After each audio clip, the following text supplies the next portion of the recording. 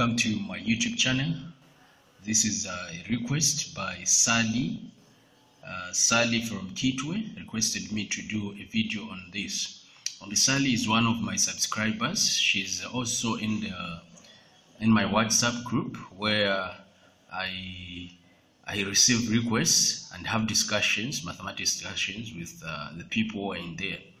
All right, so uh, Sally on how to find or on how to work out this question.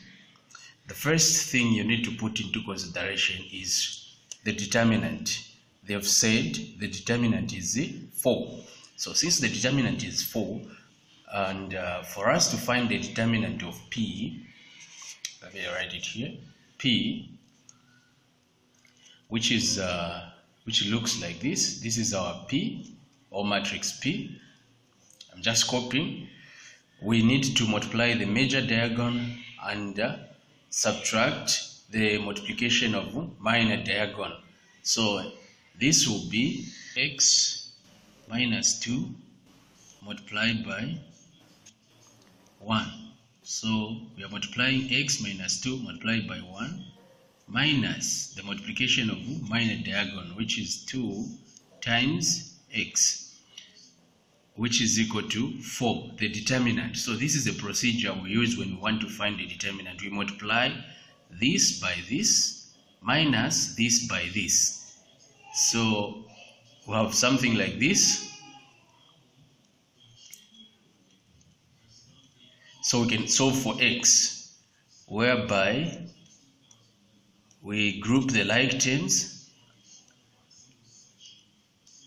so these two will come here and uh, these will remain like this. So when we say x minus 2x we have a negative x which is equal to 7 so we want to remain with the x. We divide by negative 1 by negative 1 and uh, this negative and negative will cancel. So when we divide here we'll have uh, negative 7 so x is equal to negative 7 whereby the original matrix of uh, of p will be where there is x we put negative 7 so it will be negative 7 minus 2 which is equal to negative 9 and x will be equal to negative 7 here here we have 2 and uh, 1 over here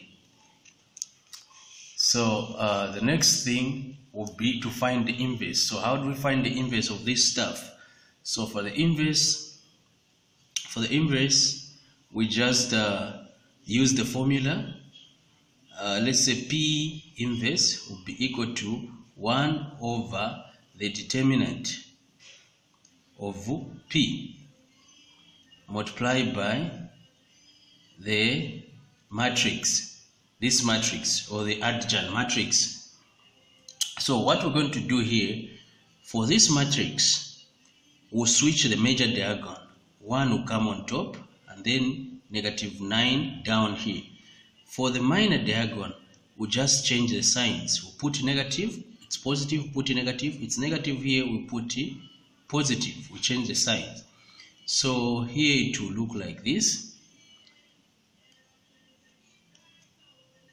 This negative because the determinant is negative 7 so this is the negative I've put here. You multiply by this new matrix and uh, we have something like this. So if you want you can leave it like this or you can finish it up. You make it look like this. Negative 1 over 7 by multiplying everything by this by this, this by this, and here we have negative 1 because 7 can go into 7.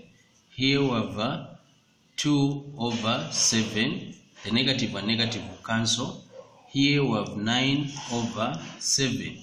So this can also be the answer. Thank you very much. Remember to subscribe to my YouTube channel so that you remain updated whenever I post something new.